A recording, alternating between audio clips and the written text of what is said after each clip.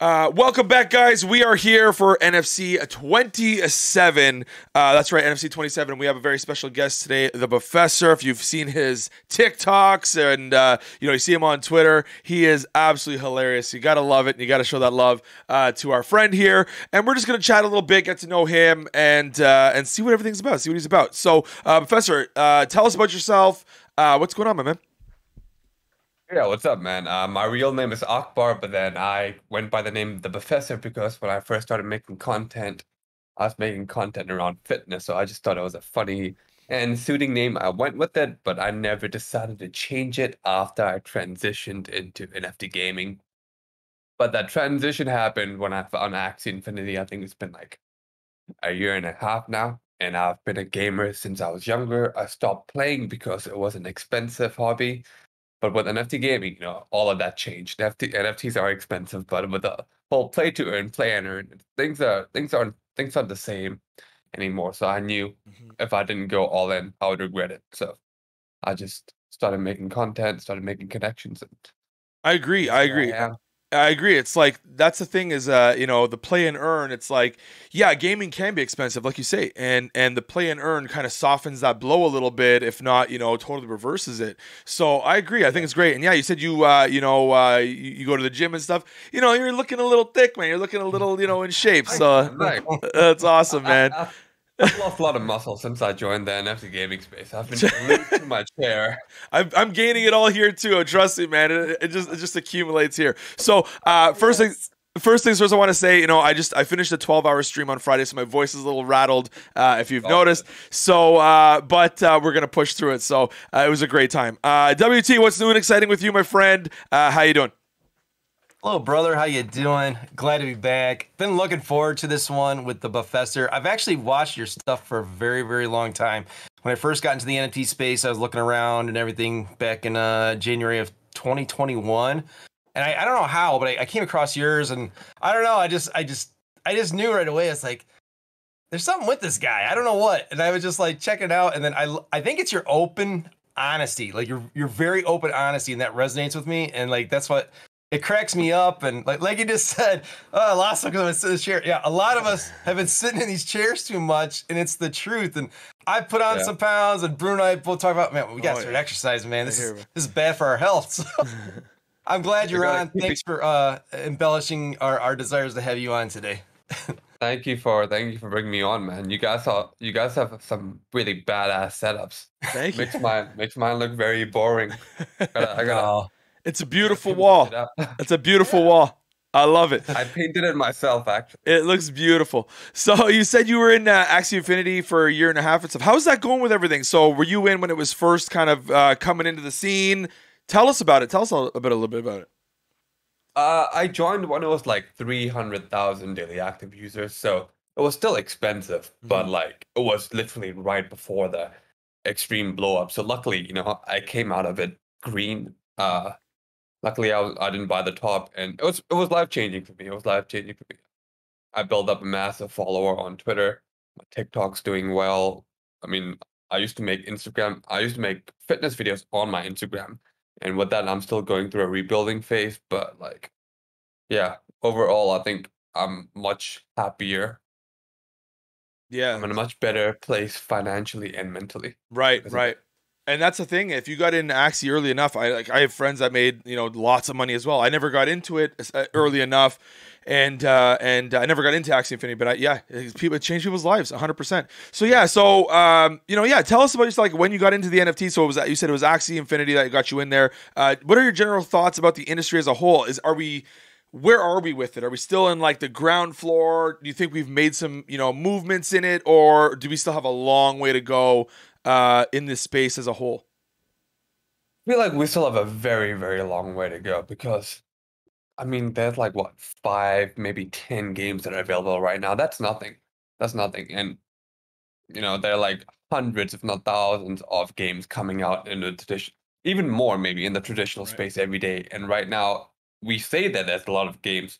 We say that there's a lot of NFT games coming out, but like it's really not compared to the amount of games coming out in the traditional gaming space. And at the moment, the entire world seems to be hating on NFTs. It's a very controversial topic, and I think it's gonna take quite a long time to win them over. I would say maybe you know four or five years. No one can put an exact timeline on it, but I don't think we're gonna see mass adoption for a while. Personally. I agree, and and there's a few things about the, those points you said that I to- I'm, I'm totally on board with as well. Where you say, you know, there's just not enough games coming. Like right, yes, there's a lot of games being built right now. I'd say, and I say a lot, and I say that loosely. It's not a lot, but there's a bunch of games being built right now that are going to be released in 2023.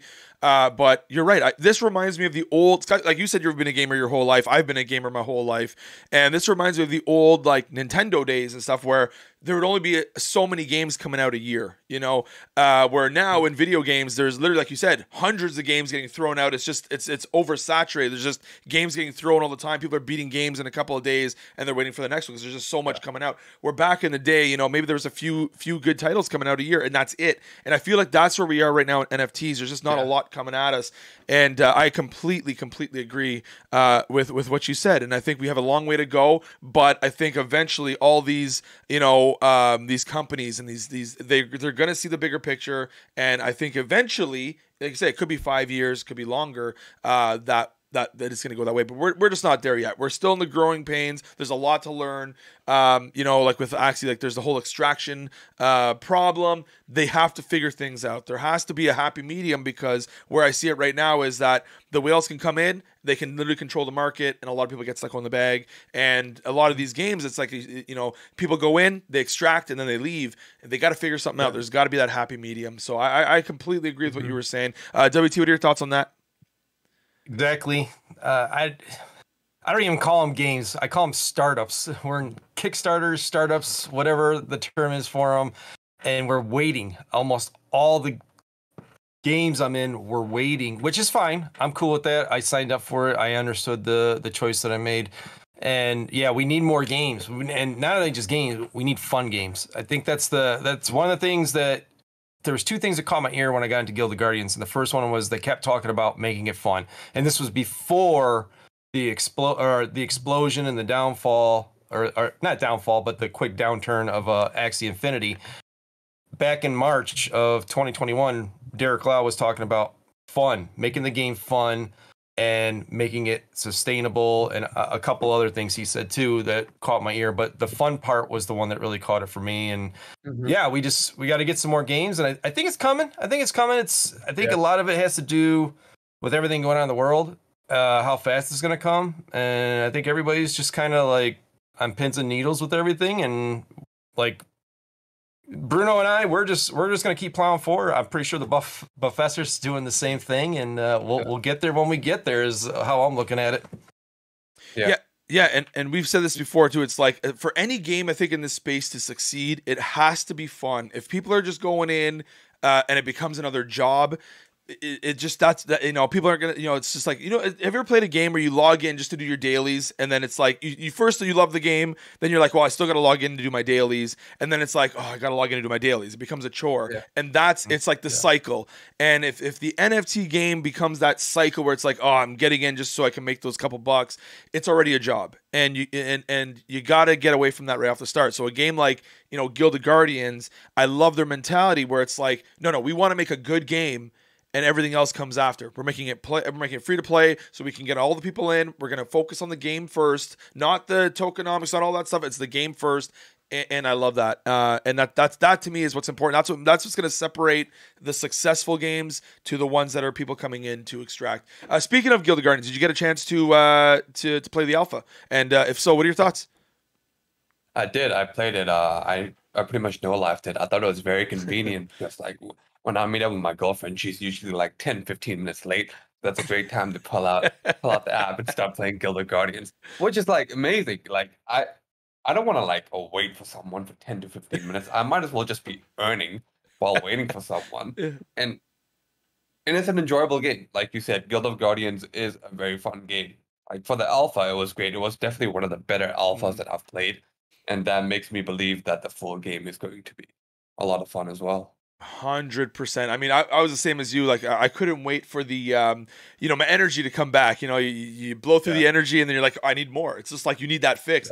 Um, which you know, there's the energy boosters when the game comes out, which is going to be interesting to see how it all plays into it. You know, we're, we're assuming. I think we have an idea, but it's like we we haven't played with it yet. So, uh, but that was funny. Like you said, man. Yeah, you know, she's like, yo, she's getting ready. All right, man. We got, uh, you know, we got 15 minutes. We got an hour. We could burn through some energy. You know, so uh, yeah, I, I thought it was great too, man. I thought it was the greatest, uh, the best alpha I've played. I mean, personally, myself, that was the best alpha that I played.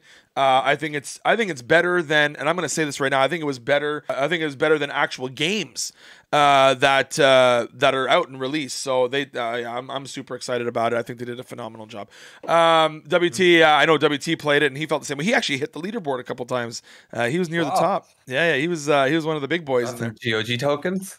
Yeah, I got a little bit. It was cool. Um, I, I uh, it was the pre-alpha, and my expectations was there's going to be a lot of problems, and there was absolutely none. Granted, they didn't have millions of people on the platform stress testing the servers like crazy, but in general, I think they had close to eight thousand people playing all at once, and I didn't have any bugs, which floored me. I've never seen that happen with a, a pre-alpha before.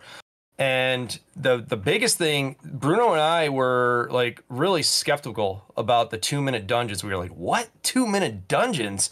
You can't do anything in two minutes, you know." but like, I was actually pleasantly surprised and relieved because I actually was on vacation when they dropped the game for pre alpha, and so being on vacation with my family. I couldn't lock myself in a room for hours and play something because my wife would have killed me in my sleep probably. Yeah. So, uh, being able to, you know, when the wife is getting ready or the kids are snacking or something or doing something else, oh, you got five minutes? Oh, I can knock out two dungeons, get my energy bar down so it can replenish while I'm waiting. And I actually found it very convenient. And even though it was different, I found it refreshing because I've been in these gacha games before where you got to spend hours grinding on them to do whatever that you're supposed to do. And it really takes away from quality of life. And I was like really blown away at how much I actually enjoyed the shorter, quick burst of games there with GOG. Yeah. At first, I was, I was a bit uh, confused as well because I thought it was going to be longer dungeons, but I think it worked out well. Like it Mhm. fits, you know, the game very well. So I agree. I, I was when they said two minutes. My first reaction was, how, "Well, how do you get any momentum? How do you, you know, you, you you start you get into a dungeon, you start getting the feel for it, and it's over, you know, and then it's like when you play it. So that's why sometimes you know these people, like I always say, they have the beautiful mind. They know what their what their plan is. They have it all you know spread out and, and put on a spreadsheet or whatever they have it they have the idea. And you know sometimes when you're on the outside looking in it doesn't make sense. But then when you get your hands on it you're playing ah okay now it's all pieced together and and i get it. So uh, yeah are you are you running with any guilds? Do you have a guild uh, locked in? Uh, if so uh, how has it been? Like how has it been if you are in a guild? Uh like you know is it active? Is it kind of quieted down a bit? Is, is things going okay? Or are you just kind of a free agent right now? I'm pretty much a free agent. I mean, I have very strong connections with like MTTM. I have a, I've, I do have strong connections with YGG. I know people from Loot Squad very well, like Bryson. I've collabed with them a couple times, but I would say I'm a freelance guy right now. Mhm. I don't belong to any guild. Just making content for myself. Yeah, YGG man, they're huge. We've talked about them a couple times. Um, yeah, they're massive, man. They're in a bunch of games. They're and they're you know they're just they're taking over, man. They're doing uh doing a lot out there in the, in the space for sure. They're doing a lot out there Yeah, for they- sure. They're Um. Yeah, yeah, YGG man, massive. Um, now, do you ex- okay? Now for the guilds. Uh, speaking of the guilds for GOG, do you expect the guild aspect to be as dominant uh, in GOG as they said it would? You know, like uh, you know, here's the thing: when me when a game when a game's called Guild of Guardians, that that that aspect on the guilds, it you know, that's to me that's what actually first got my attention too. It's it's a dungeon crawler. I love Diablo. I'm a big Diablo fan. Uh, it's a dungeon crawler, you know that kind of that kind of game. NFTs, love that. Play to earn, love that. And it was about guilds, and I and I love that. I love games where you got to work with like a, a group or you work together. You have like a you, you know your your your buddies, your friends, whatever it is, your your your your crew, and you got to go do things together. Do you think how important do you think guilds are going to be in this in in Guild of Guardians? Do you think it's gonna be as big like- as they say? Sorry, what was that? I feel like they are planning to make it big, big because, like you said, it's called Guild of Guardians, and these guild tokens they were, you know, they were one of the main NFTs that so they sold when the game first launched. So I do believe, I trust that the team can pull off their vision, Mhm. because at the moment there is very limited information on how the guild system will work within the game, as well as what the adventure, I mean, the guild tokens will do. So it's hard for me to say. I guess it just comes down to whether we trust the team or not. Right. What do you guys think about that? I definitely, I definitely trust the team. I think they, like I said, you know, the first time I questioned every, anything was when they said the two minute dungeons. That was when I was like, you know, that doesn't make sense. And you know, I should have trusted what they, what their vision was because they proved that it made sense. It worked. And to me, I think uh, they have such good minds on the game. Such their their team is phenomenal. Um, I know they were just in uh, NFT New York and apparently you know uh, people recognize them there. Like it's it's not just like oh that's Guild of Guardians like yo that's Guild of Guardians you know? And, and there's there's yeah. some weight to that name. And uh, that's important especially in this space that's important. So I think they have a lot of pull in the space. I think they uh, they know what they're doing.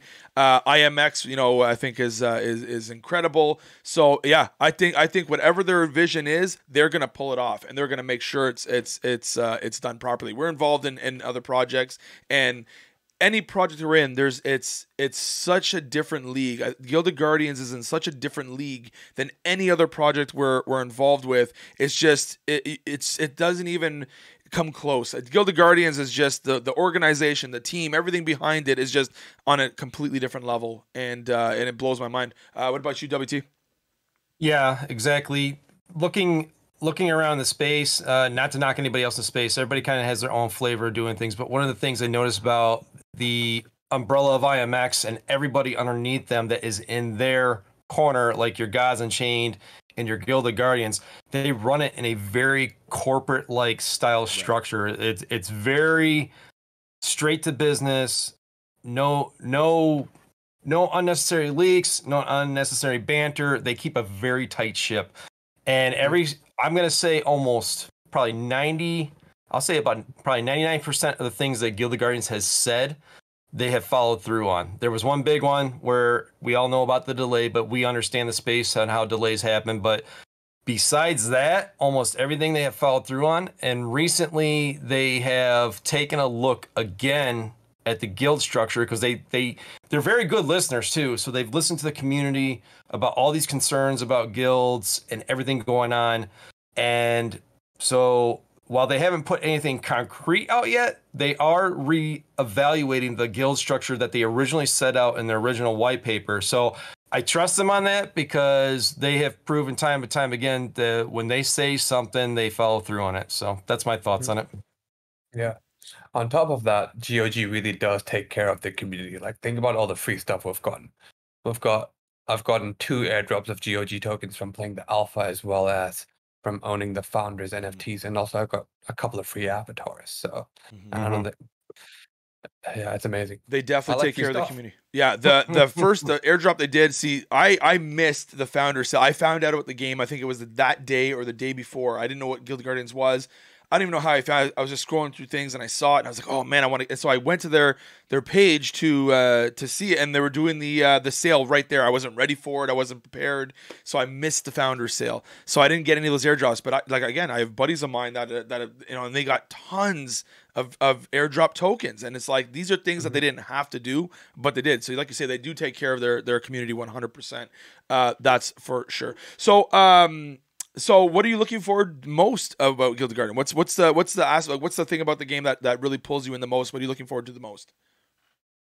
I really did enjoy the alpha, so I would just like to really dig into the game and play it, play the actual full game, and more importantly, I want to make content Right. from Guild of Guardians because as a content creator, you know, there aren't many games that I can create content about right now because most of the games they're not very fun. There's like maybe one to two games that I enjoy playing, and I think Guild of Guardians will be one of the games that I really enjoy playing.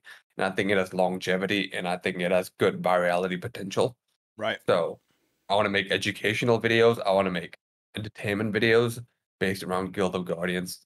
As a content creator, I would say that is what I'm most excited about. Awesome. A game that I can actually, you know, spend time playing and making content around.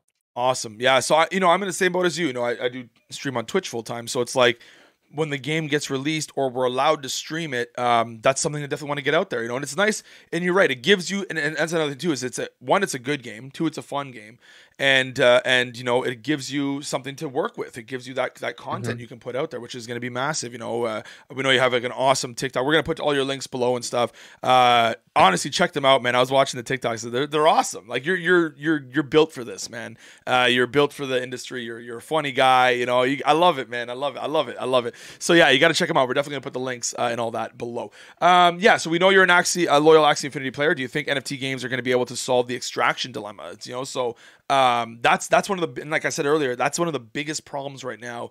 Is is people have caught on. They know that these games are coming out that first, you know, people are going to rush in, uh, things are going to get hot, and then it's like, all right, we got to pull everything out. And, you know, usually either drop tanks the game or people get stuck holding the bag or the coin, whatever. You know what it is. There's extraction uh, problems. That's what, you know, that's what it is. It's not solved yet. Um, you know, do you think, uh, do you think there's going to be an answer to that? Do you think there is an answer to that? Or is it just kind of like, that's kind of the nature of the beast? You know, it's, uh, uh you know, it's, it, where can we go with this? What can we do to solve that? Yeah, I oh, at the moment it's pretty much is the nature of the beast because everyone that comes into NFT gaming right now, not everyone, but like maybe ninety percent of the people that come into NFT gaming is because they want to make money, mm-hmm. and that's fine. But if you just play a game to make money, then eventually the token is going to crash. Like if everyone is playing just to sell, right. there's no way. Like there's no chance that token can sustain its price. So I think the mindset of the players will have to change from earning focus to entertainment focus. And I think that can only happen when there are actually fun games that we enjoy playing. Like, for example, Big Time is a game that I really enjoy playing, and I earned like 70 bucks after playing it for like 20 hours. I don't care. I'm not going to sell it. I'm just going to keep it. So when more games like Big Time, Guild of Guardians, whatever other game that comes out that people would rather play, and then maybe when they do get the NFT or when they do get the token, instead of spending it, maybe they, you know, reinvest it in the game because they actually enjoy it. Right. And want to spend more time doing it. Then I think that will solve the extraction problem. I think it just comes down to building fun games. That is exactly my my view on it. I've said this before. It's like you need a burn mechanism that it will reward you if you if you get these tokens. It's going to reward you for putting it back into the game because if everything if if there's no reason to reuse their tokens or burn them or put it back in the game, then you know people are just going to take them and run with them. And that's that you're right. There's there has to be a game good enough that makes you want to take those coins put it back in uh, and uh, and uh, use them that way. I agree 100%. Uh, you said big time, man. I know you mentioned big time. Um, I never I never played. I never got I never got one of the passes, uh, but I have a lot of friends that did. They raved about it. Uh, what are your thoughts, man? What are your thoughts? I know because I, I actually bought two two spaces on the on the on the founder sale, so that was kind of like a whatever. Because then they did the, the, the gold pass and people they were just handing them out like it was nothing, you know. And I was like, oh well, there there's there we go. You know what I mean? So I, I couldn't believe that, man. When I saw that, my too early. Oh man, I've never I've never heard of someone getting punished for being an early investor. And uh, and uh, my buddy's like, yeah, we got like a hundred NFTs. Like, oh, that's awesome, man. You know, so uh, oh yeah, they they went they went to town, man, on it. Um, but yeah, what are your thoughts on Big Time, man? Uh, what do you think about it? I love it. I love it. It's one of my favorite games right now, and I think it does have a lot of potential. Mm-hmm. I, I don't know about the earning potential. Right. I, I've, if I'm being honest, I feel like it's going to be pretty low because right like I said, I played for 20 hours and I earned one NFT. And that's with the founders pass. And when the full game launches, the NFT drop rate is going to be even lower. Yeah. But the thing is, it's completely free to play, so that's going to be great. And also, there's fiat onboarding. You don't have to touch crypto at all. So that makes Huge. the onboarding process, yep. yeah, that makes the onboarding process very smooth. So I think mm-hmm. it does have a lot of potential when it comes to onboarding players but the earning potential, I'm not too sure. And as far as spaces go, there really isn't too much information on that at all. So mm. I can't comment on that. So this the way that Big Time is doing it to me, that's the way that's the right way to do it. It's uh, you know, said if you had onboarding, your MasterCard, whatever, it's an email, stuff like that and uh, it's a free to play game. That is to me is and you said it, you play 20 hours, you maybe made 70 bucks. So the earning side isn't the focus. The game itself looks awesome. So you're playing it's like people play World of Warcraft uh, for free. You know what I mean? They uh, not even they paid twenty bucks or whatever it is a month. You know, and they enjoy the game. You get a game like Big Time. It's a free to play game. You're not paying twenty bucks a month. It's a good game. And yeah, maybe you're not going to make thousands and thousands of dollars. You might make fifty bucks a week. You know, but that's better than paying 20 bucks a month and you're still playing a good game. You know what I'm trying to say? So it's like I think that's the right way as well. It's like when people are, are playing these games, they're expecting to make a you know retire off of it, making thousands and thousands of dollars. It's it's okay to have an earning mechanism that it's not you're not making thousands. Maybe you're making 20, 50 bucks, but you're still earning something. And that to me is fine. And I think that's a longevity. I think that that will give longevity to the mm-hmm. game uh, personally. Yeah. Uh, WT, I know you didn't play uh, big time either, but uh, thoughts on the uh, on, thoughts on all that, the extraction, the the play to earn side of things. Um, what are we thinking on that?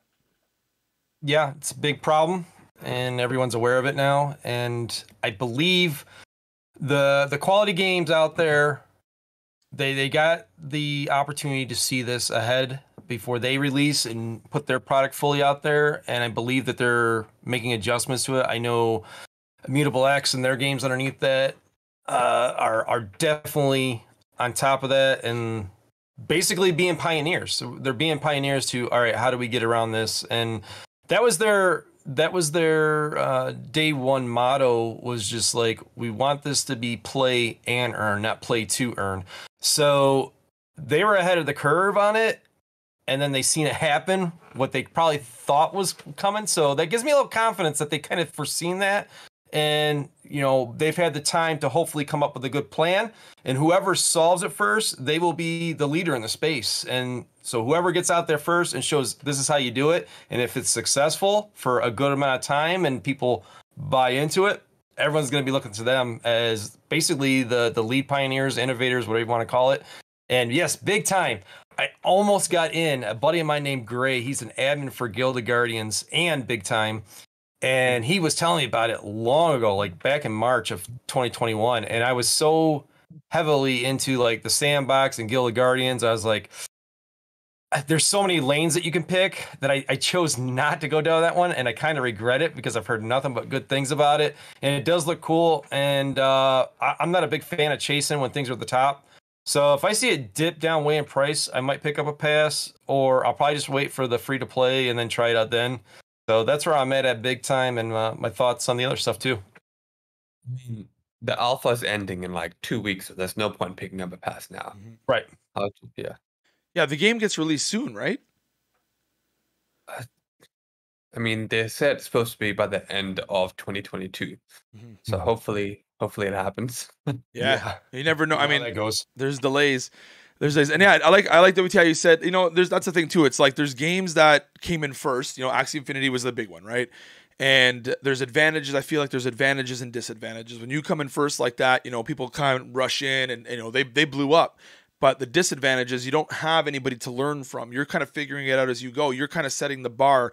And then there's games like Guild of Guardians that are coming in after, and they're like, okay, we see what Axie. Maybe they're not even looking at Axie, but I'm just saying, you know, they're like, okay, we see what works, we see what doesn't work, and you kind of have that advantage where you see other people's game plans and you can kind of tweak things. Maybe they have no interest in following any game plan, but you see what didn't work and what does work, and you can kind of go from there. So um, I'm super bullish on Guild of Guardians. I think everything, you know, we, we believe in it big time, obviously, and uh, and stuff like that. So I want to talk about your TikToks a little bit, man. Uh, like I say, they're they're absolutely hilarious. I was watching some. You got me laughing, man. I, I love it, man. You got a good good sense of humor, good vibe. You know, you're you're a good looking guy. You're big. I'm big in the gut here. You know what I mean? You got it, man. You got what it takes, man. So uh, yeah, do you get any? Where do you get inspiration from? You just kind of just come on the top of your head, just kind of do your thing.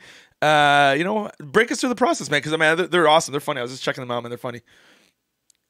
So when it comes to making TikToks, I guess you gotta make sure that you understand the Web3 culture very well because that is the audience that I'm appealing to. And whenever I want to make TikToks, I just literally just scroll, and then if I see a funny video, sometimes I'll just adjust the caption a little bit Mhm. to suit the to suit the Web3 audience, and sometimes I'll just come up with a brand new idea about myself. It just comes to my head. If I make like I make like five TikToks a day now, and I can't come up with five ideas, you know. So half of them are my original ideas, and half of them is inspired by someone else. right. And Ah, if you want to make great, yeah, if you want to make great TikToks, it's all about spending time in the app and learning Right. what works and what doesn't. hundred percent. What works, what doesn't, you know, what what the trends are, because that's you know, there's always little waves, right? You see this, you know, it's the wave, and then you know, yeah, you got to follow the wave for sure.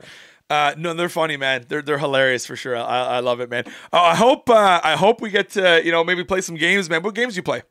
You're a gamer, right? What games do you play? Mo- At the moment, I'm spending time on Big Time. Uh, Ev.io is another game that I've been playing. Undead Blocks.